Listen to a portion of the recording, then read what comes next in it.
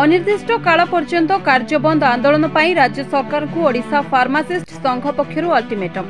କଟକରେ ଏନେଇ ସାମ୍ବାଦିକ ସମ୍ମିଳନୀ କରିଛି ଓଡ଼ିଶା ଫାର୍ମାସିଷ୍ଟ ସଂଘ।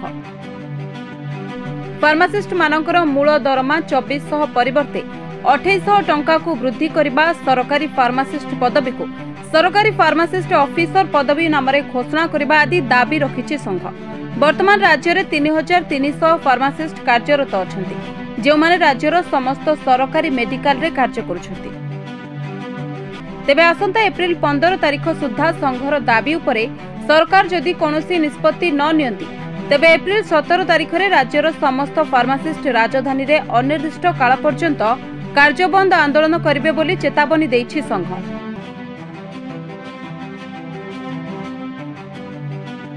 Bureau report NNS Odia.